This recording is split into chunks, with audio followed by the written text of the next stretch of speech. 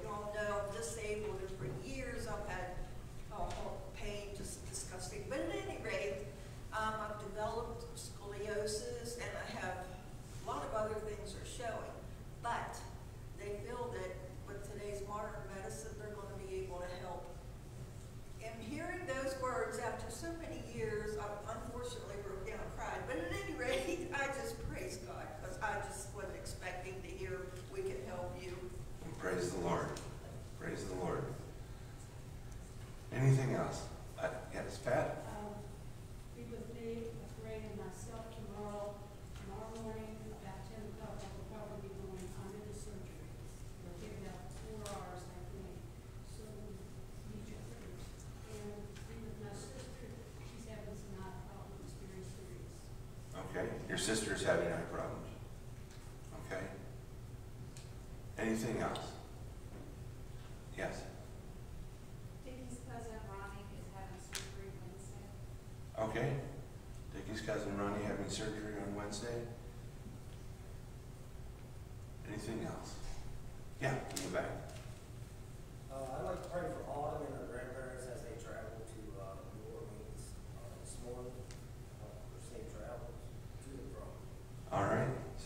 for Autumn and her grandparents as they had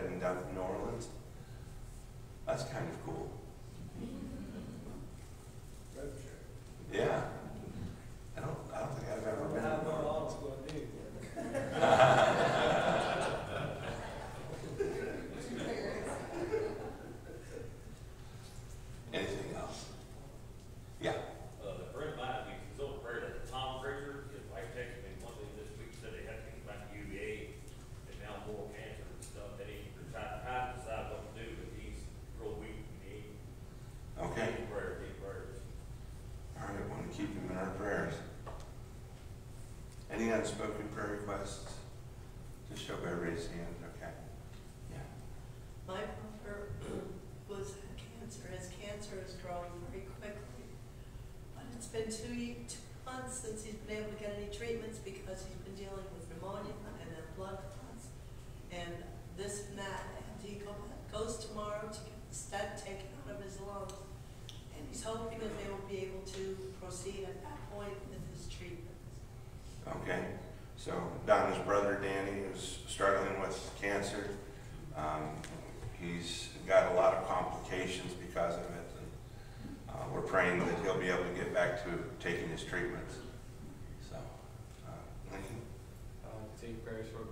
ex-girlfriend. I was there. Uh, they had their gender reveal yesterday.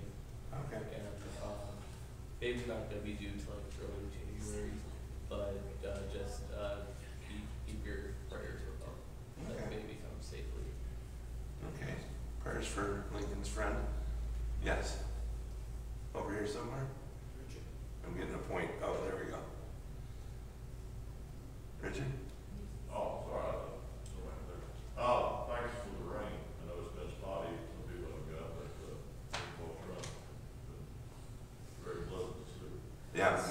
take as much rain as we can get at this point, right? Even if it does turn to steam as soon as it hits the ground. Sounds like we need to pray for Donna, too. Oh, she's got a cold.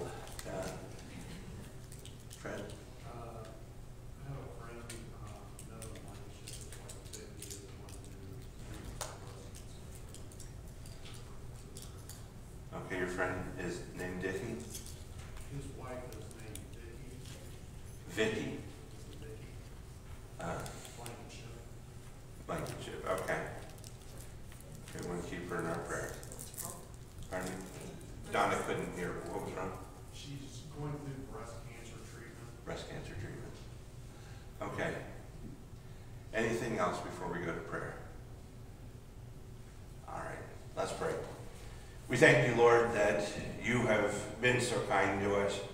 Through the years, Lord, you've seen us through many crises. You've seen us through many questions.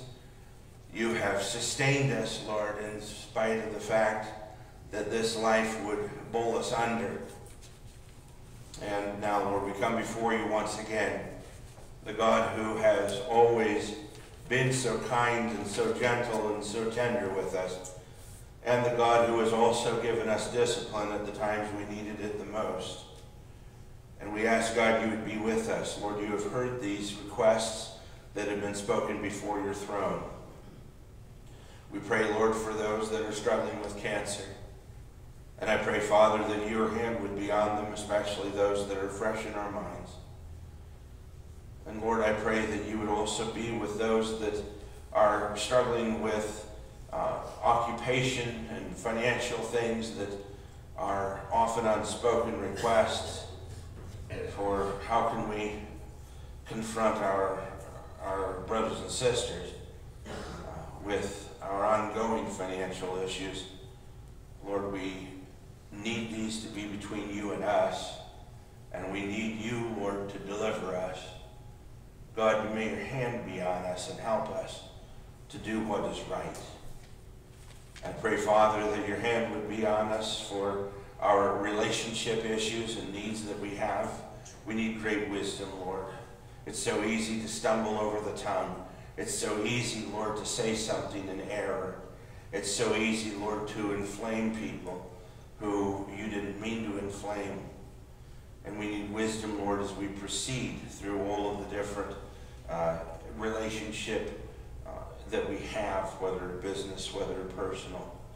God, your hand please upon us. We thank you, Lord, for the answers to prayer that you've given to us in the past and have given to us even now. I pray, Father, that you would be with those that are going into surgery. And I pray, Father, for those that are anticipating uh, a potential surgery that may actually help. And I pray, God, your hand would be with them to protect them through all of this. Help them, Lord, I pray to walk through these uh, dark waters, but to walk through them, Lord, knowing that it's okay because you are with them. I pray, Father, for those that are involved in our emergency services and in our military, that your hand would be on them. Be also, Lord, with our missionaries, I pray. Help them to bring the gospel, Lord, to those that need it. And help them, Lord, I pray, once they're done, bring them home again safely. And we'll give you praise in Jesus' name. Amen. All right. Well, we are going to turn to Genesis 21, which is where we are in our, walk, our walk through the Bible.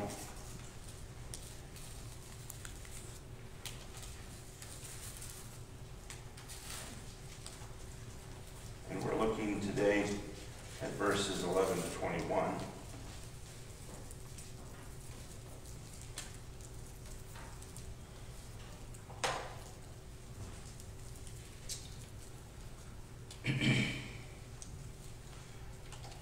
Sarah has just said that Ishmael and Hagar must leave the family. The matter distressed Abraham greatly because it concerned his son. But God said to him, Do not be so distressed about the boy and your slave woman. Listen to whatever Sarah tells you, because it is through Isaac that your offspring will be reckoned. I will make the son of the slave into a nation also, because he is your offspring.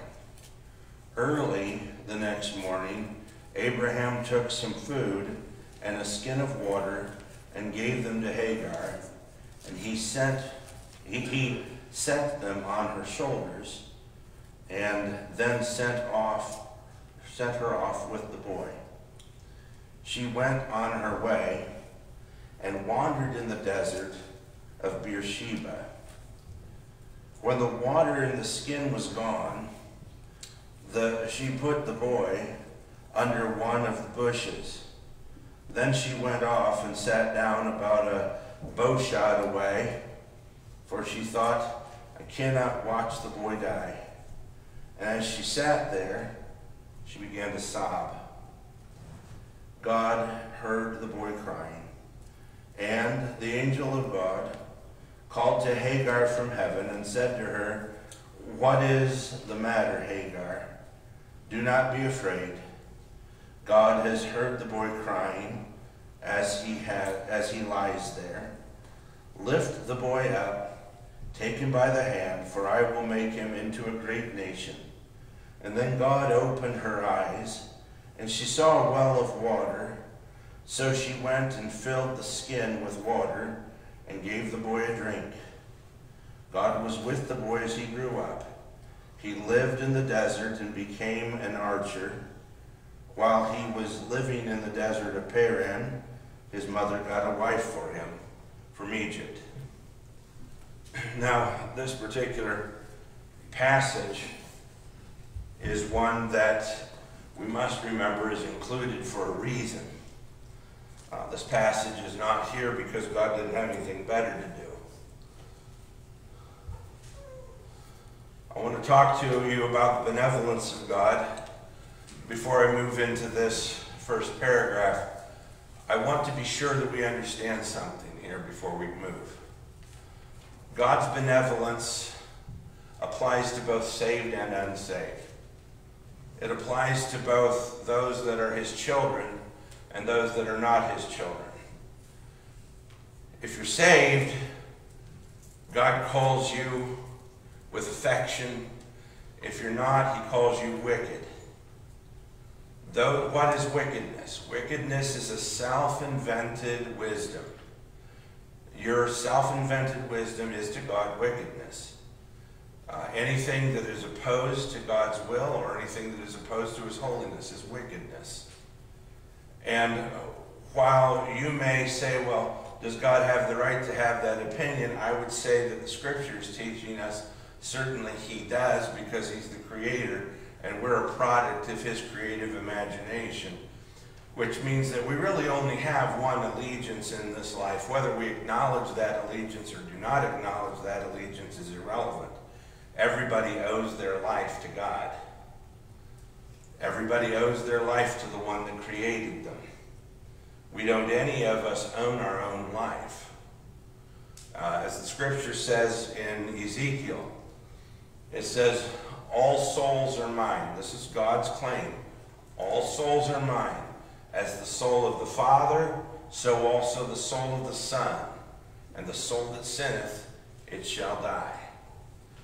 Everything that God has to say about the wicked ultimately is repent and ultimately is that they will be destroyed. Two things God gives the wicked a choice of, repent or be destroyed. But there's no other option. There's no other, there's no option where God just leaves you alone and lets you do whatever you want to do and doesn't call you to account for it. That's just not one of the options that we have in the scripture. So saying all of that, I want us to take a look quickly here at the story. Ishmael was born not of promise, but of the flesh. That is, that Abraham and Sarah got together, they colluded, they came up with this idea, they dragged Hagar into it, and Hagar had a child on behalf of her mistress Sarah, and they named him Ishmael. But God still kept his promise and gave Sarah a son that came from her own body, and that is Isaac. Now, Isaac is the son through whom God is going to create his nation. God is creating a nation in this story we have in Genesis. Okay, all the other nations, they formed on their own. From the Tower of Babel, they all got together with people they could understand linguistically. Then they settled in lands the Japhethites settled up to the north, the Shemites to the, to the middle, and then the Hamites to the south. And this was before, of course, the continents were divided so that everybody got to their land, then the continents divided, and some peoples were separated from the rest, which is why we didn't know North and South America were there, we didn't know Australia was there, and we discovered those at later dates. Okay? Not that they weren't already there, obviously, but for us, from our perspective, not knowing they were there, there was a discovery. Okay, now all of this happened, and God didn't interfere with those nations. They just developed on their own. They did, you know, they, they had their own language. They eventually developed their own culture. Then they began to speciate, and that, that is, they began to take on different, uh, different aspects. Some of them light skinned, some of them dark skinned, some of them specific facial or body features even. And um, eventually, why uh, we were as separate as separate could be, and that was a purpose, and God said that it was so that being divided, we wouldn't be able to join together as uh, mankind and put God in the position of having to destroy us again. So, uh, so God uh, separated us in that fashion. Now, all of that said, because I want us to understand that with Israel, this is a specific creation of God. It is a holy nation. Holy, why? Because the people were holy? No. In fact, we read very clearly that the people were not holy. Uh, they were supposed to be holy, they were commanded to be holy, but they did not live holy lives. But that is to an end with regards to salvation anyway. But this nation that God created is His nation. Nobody touched it, nobody helped Him create it, nobody pitched in and gave Him an idea where He said, Oh, hey, that's a good idea. That never happened with God. God knew exactly what He wanted to do from the very beginning, and He began to develop this nation. And He developed a holy nation, which was His nation. Nobody was allowed to touch it. Anybody that tried to help Him or tried to form it, they were either immediately or eventually killed. Um, there is just no room in God's creation of a holy nation for us to add our two bits to it. And so, that being the case, Ishmael could not be a part of the nation. And he could not be the leader of the nation. So God exiled him. Now, Sarah was the one that did the exiling. But God said Sarah was telling Abraham the right thing to do. So Ishmael is cut off from his family. Isaac is promoted because he's the one that God wants to bring the nation into existence through his offspring. So, what do we do with Ishmael? Ishmael was an invention. Ishmael was not God's thing, it was Adam and Sarah, or Abraham and Sarah's thing. Okay, so it wasn't God's thing. But because he was Abraham's son, God wanted to treat him kindly. And so God developed him into a nation, and, and uh, God kind of set him off and let him develop on his own. But God continued to develop Isaac. Now, in studying the benevolence of God upon the wicked, the one thing we have to realize that God is very kind, very loving, very caring towards wicked men. But in the end, he's still going to send them to hell. Nothing you can do about that. In the end, that's where they're going to go. But for these 80 years or so that they live on this earth, God tends to be uh, quite kind to them because that's all that they're going to have. So let's take a look, first of all, the consolation of God. God consoles Hagar and consoles Ishmael with a promise that they would become a nation. Um, in in the consolation of God, God gives men lesser blessings. And I say lesser because the greater blessing would be heaven.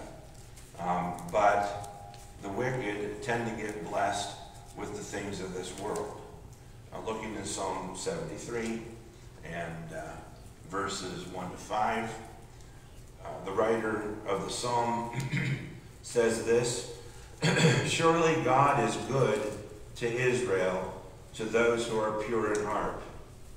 But, now whenever you see the conjunctive but, you must understand that he has said something and now he is going to change subjects. Okay? Whenever you are talking to somebody, I was going to go to the store, but my car ran out of gas. Okay, so anytime the word but is used, you're changing direction. So he starts out by assuring the reader, surely God is good to Israel, to those who are pure in heart. But as for me, my feet had almost slipped. I had nearly lost my foothold. For I envied the arrogant when I saw the prosperity of the wicked. They have no struggles. Their bodies are healthy and strong. They are free from common human burdens. They are not plagued by human ills. Now, this is the observation. Now, there's more to the passage than that, of course. But uh, I, I wanted you to see the observation of the psalmist. When he looks at the wicked, he doesn't see people that don't believe in God and are just suffering and suffering and suffering because of it. Rather, he sees people that don't believe in God and they're doing well. Now, you and I have observed such, haven't we? You remember the old show with Robin Leach, Lifestyles of the Rich and Famous? Remember that? He'd always shout whatever it was. Amazing! Look at this pool. Look at all these things, you know. And that was, of course, a show that was designed to build up covetousness in the uh, viewer so that the viewer would say, why don't I have stuff like that? It's not fair they have stuff like that and I don't have stuff like that. That was the whole point of the show. But all of those people, most of the people at least, and probably all, that were featured in a show like that are not people that uh, believed in God and gave sacrificially to, to the cause of Christ and, and uh, served and honored Him. These are people that served and honored themselves. Most of them were movie stars. Most of them were, were uh, business owners that were rather ruthless in their business approaches and things. Um, but not people that by any means for the most part at least, although I never watched every episode. Barely watched one, to be honest with you. But I did watch from time to time, because I thought it was interesting, the different things that they could do. But folks, we have to be careful when we're looking to people that don't believe in God and are doing well. The scripture is, tell, is trying to tell us that this is a consolation for them. What does it mean a consolation? You ever watch a game show? Anybody ever? No? Nobody? Just me? Oh, okay. I'm the only one that ever watched a game show. At the end of the game show, they had consolation prizes, right? Back in the day, you remember that? Sometimes it was a home version of the game, and uh, there for a long while, I don't know why Rice-A-Roni was so generous, but the Rice-A-Roni was always like, like a lifetime supply of Rice-A-Roni the San Francisco Tree. And so you, you remember some of these consolation prizes. It wasn't the best prize. It wasn't the top prize. It wasn't the thing that everybody was on that game show wanted to win. But it was like, you know, so you don't feel so bad about not winning. Here's something for you to take home. Okay? Now, you need to understand this. The wicked around you, that is, those who deny God's sovereignty in their life, they deny God's place as creator, They deny God's kingship, they deny God's lordship in their lives. These people who are not going to go to heaven, God gives them the consolation prize of letting them have life however they want it or can build it. And so some of them do very well, some of them do very poorly, and God doesn't interfere. When you see people that have a lot of things and you know that they don't go to church, they swear, their, you know, their, their morals are, are horrible and all of this kind of thing that you're looking at. When you see that and you say, well, good lands, I give everything I have to God. I, I struggle to just to make ends meet. And I go to church and, and I believe in God and yet it just seems like God just isn't there for me the way he is for the wicked. And you get frustrated and Asaph says, my feet almost slipped. I almost stumbled. Then at the end of the Psalm, Psalm 73, he says, And then I remembered their end. I remembered their end. When God lets the wicked do well in this life, it's because he's nice. But it's not because he approves. Jeremiah 12, 1 to 2.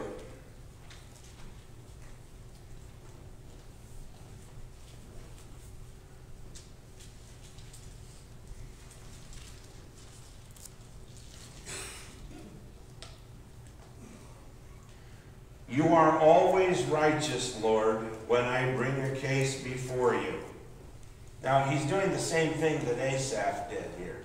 Because the next word is yet. It's like but. You're changing direction. You are always righteous, Lord, when I bring a case before you. Yet I would speak with you about your justice. Why does the way of the wicked prosper? Why do all the faithless live at ease? You have planted them, and they have taken root. They grow and bear fruit. You are always on their lips, but far from their hearts.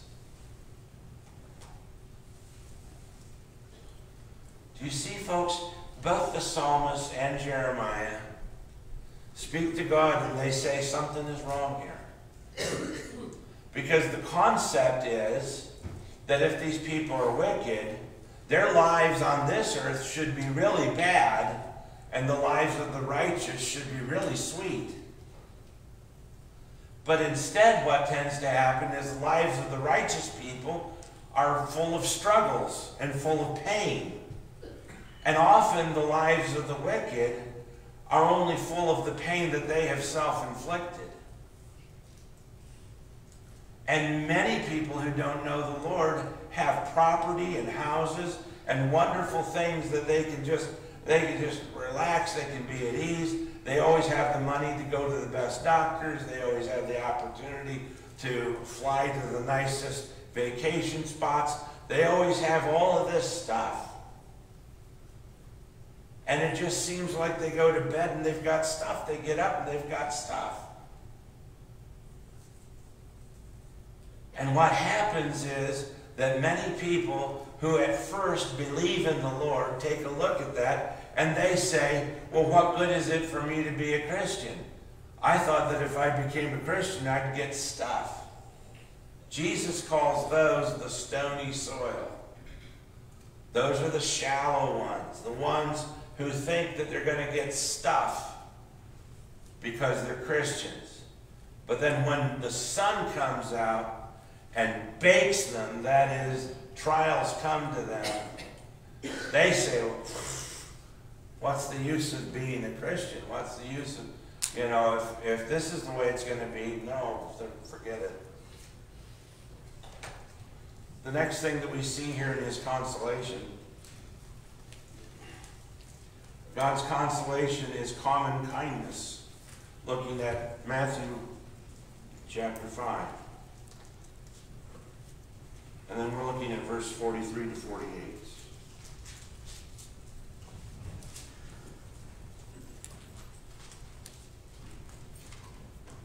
You have heard that it was said, Love your neighbor and hate your enemy, but I tell you, love your enemies and pray for those who persecute you, that you may be children of your Father in heaven. He causes the sun to rise on the evil and the good, and sends rain on the righteous and the unrighteous. So if you love those who love you only, what reward will you get? Are not even the tax collectors doing that? And if you greet only your own people, what are you doing more than others? Do not even pagans do that? Be perfect, therefore, as your heavenly Father is perfect.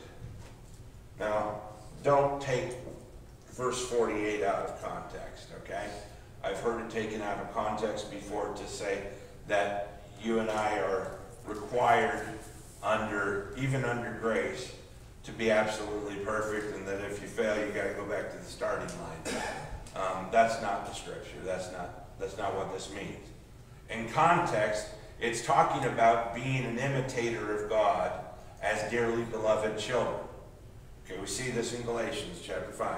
Okay, so, or maybe it's Ephesians 5, but still, be imitators of God as dearly beloved children, the scripture says. Now, here it's saying that we need to do what? Be imitators of God as dearly beloved children. God shows love not only to his children, but God also shows love to his enemies. God doesn't just send the sun and the rain and the, and the necessities of life on his children, he also does on his enemies. So then he says to you, so don't treat the people you're familiar with and love differently than you treat the people that you're unfamiliar with and don't necessarily love. Because if your Father in heaven is kind to his children and to his enemies, you should also be kind not only to your church members and church family, but you should be kind to those that are outside of the church.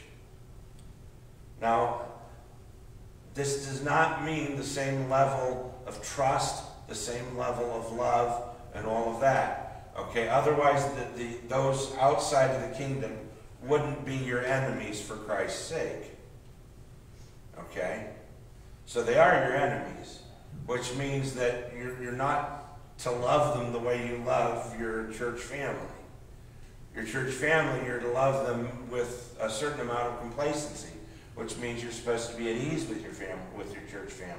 You're supposed to be able to trust your church family, which is why the trust of the church is so hugely important, and we guard that uh, as you know as fiercely as we can. The church board and I. Okay, we guard that. And that being the case, I want us to understand that, that as a Christian, you really do have enemies. They're the enemies of God. The enemies of God are your enemies. Even if they're your friends, uh, for growing up with them and for hanging out with them and rubbing elbows with them, it doesn't matter. If they're not in the kingdom of God, then for the sake of the cross, they're your enemies. Uh, and, and you must remember that. You, you, can't trust those outside of the kingdom of God to be like those inside of the kingdom of God. Two different kinds of people. But we show love to both those we can trust and love and those we don't trust and love. We still show kindness to both. Now, the reason that we do is because God does. There's no moral virtue in it. There's no, no, I'm a better person because of it. That's not the reason. That's not even, you're, you're not even going to achieve that. Okay? You do it just simply because the God that you serve does it. And so you're being an imitator of God as a dearly beloved child.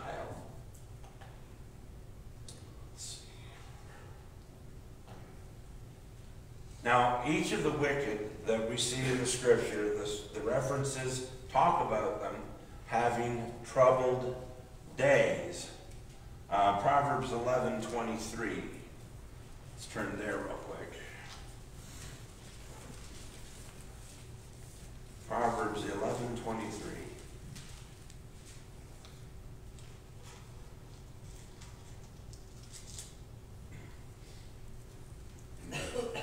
It says, The desire of the righteous ends only in good, but the hope of the wicked only in wrath. Okay? Now, the scripture is not giving you an approximation or a guess, it's giving you specific. Okay? The, the work of the righteous, the hope of the righteous ends in good. The hope of the wicked ends in wrath. And so, while God is being benevolent to the wicked, in the end, it's going to end in wrath. That's just the way it's going to be. But he's good to his children as well. But their hope is that God is going to be good to them at the end of all things when the time of reckoning comes. In Genesis 16 12, we read a little bit more about uh, Ishmael. We've already been there in our walk through the scriptures, but I invite you to return there as well with me, if you would. 16, and uh, then uh, I think, did I say 21? No, 12. Got my letters backwards. There he is. Okay, speaking of Ishmael, God says, He will be a wild donkey of a man. His hand will be against everyone, and everyone's hand against him, and he will live in hostility toward all his brothers. So here we have the benevolence of God as Hagar and Ishmael are running from Abraham's presence.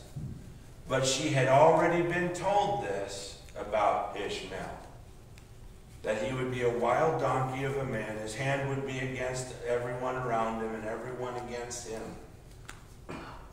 And yet, the promise is that God's going to make him into a nation and that kings are going to come from his line. So there's going to be kings, there's going to be a nation. The Ishmaelites are going to be a, a nomadic people. They're going to be lifting up their heel against everybody, and everybody's going to be against them.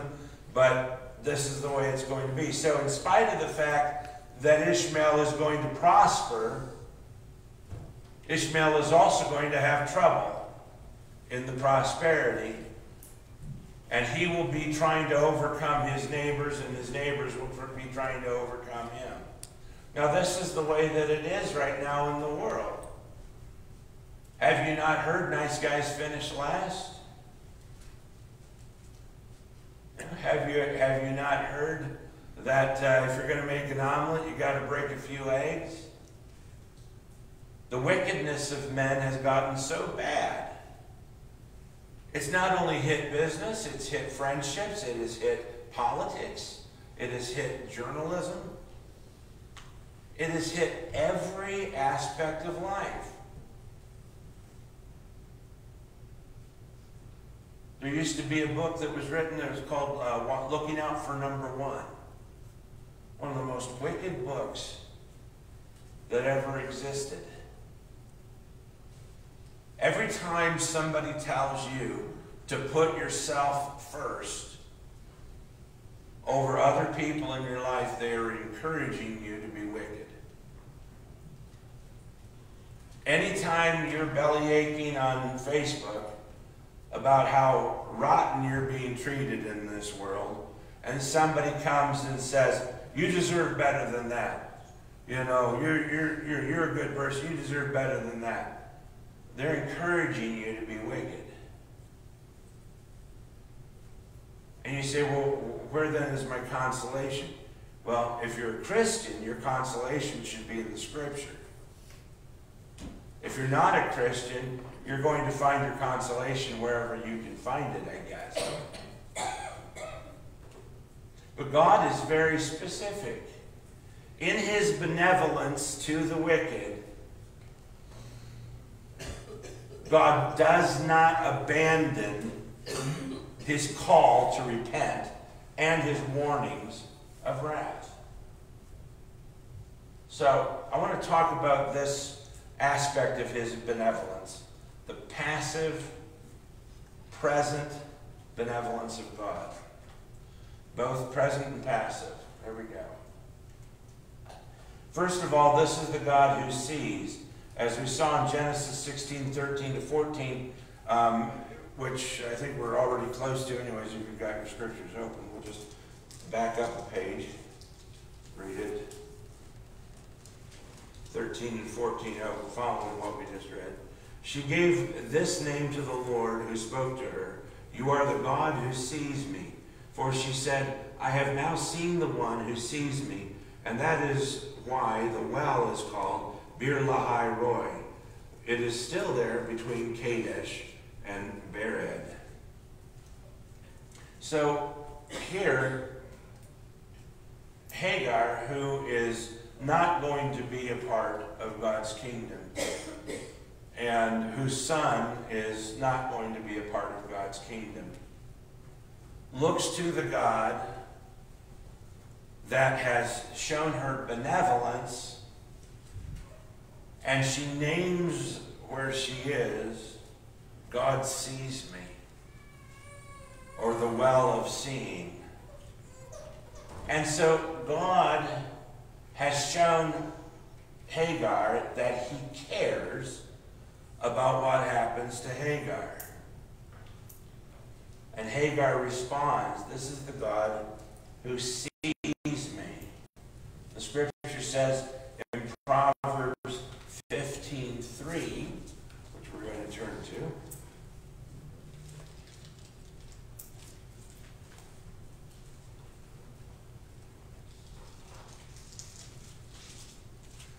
It says, The eyes of the Lord are everywhere, keeping watch on the wicked and the good.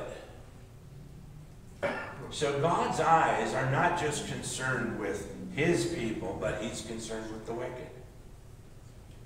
He pays attention to them. He pays attention to you and he pays attention to them. He doesn't have the same attitude towards them as he has towards you if you've been saved. But he is present. God is not absent at any time in the lives of those who care about him or don't care about him. He's present in proclamation. As we look in Acts 17.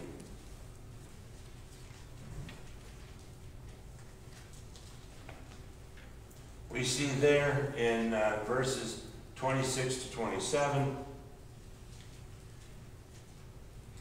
From one man made he all the nations, that they should inhabit the whole earth, and he marked out their appointed times in history and the boundaries of their lands. God did this so that they would seek him and perhaps reach out for him and find them, though he is not far away from any one of us.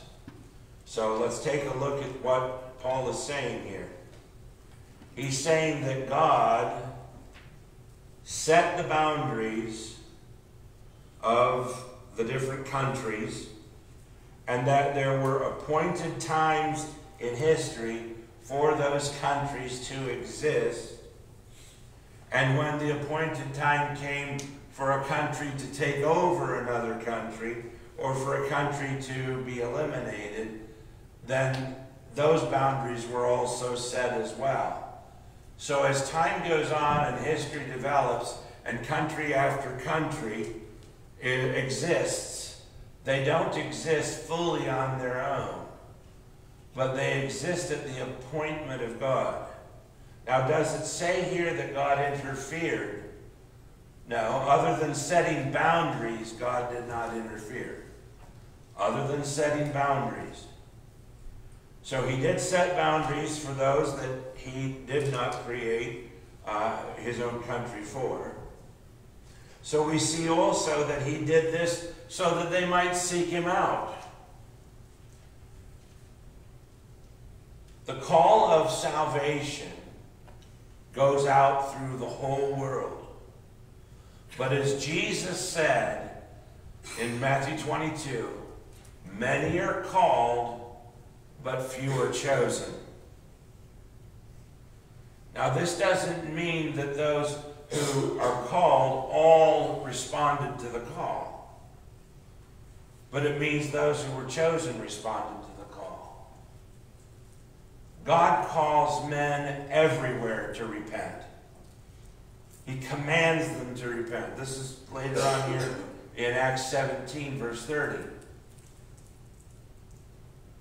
God commands men everywhere to repent. So God is not unkind to the nations. He reveals himself enough to them, Romans chapter 1 says, that they should call out on him. But the problem is, Romans chapter 3 says, that there is none righteous, no, not one. No one who does good, no one who seeks after God. The sin nature so grips men that even though they are aware of God, they refuse to seek Him out. And so it is not upon God who has laid out the call, but upon the nations whose nature would not even consider them calling out upon the Lord.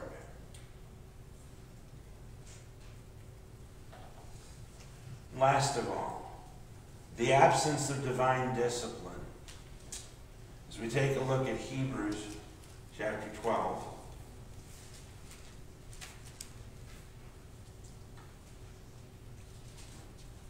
And we're looking here at um, verses 5 through 8.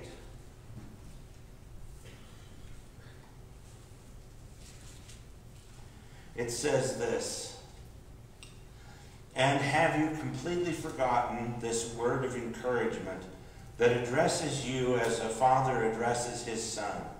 It says, My son, do not make light of the Lord's discipline, and do not lose heart when he rebukes you. Because the Lord disciplines the one he loves, and he chastens everyone he accepts as his own. Endure hardship and dis- as discipline. God is treating you as his children. For what children are not disciplined by their father? If you are not disciplined, and everyone undergoes discipline, then you are not legitimate, not true sons and daughters at all. So, in his benevolence, God assists the wicked with common graces and allows them to pursue whatever they would like to pursue and does not tell them no. It is in the not telling them no that we see whether they are truly children of God or not. For if they were children of God, God would set boundaries and he would enforce the boundaries. Those who God loves, God disciplines. And when God disciplines, it is not a punishment. Punishment is for proving a point. Discipline is like coaching. It's there to teach you how to be better. It's there to teach you how to stay in bounds and play the game by the rules.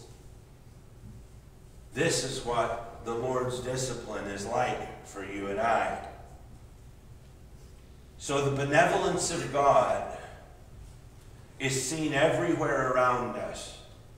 The call to salvation has gone out into all of the nations, but only those that are the sheep of God are responding.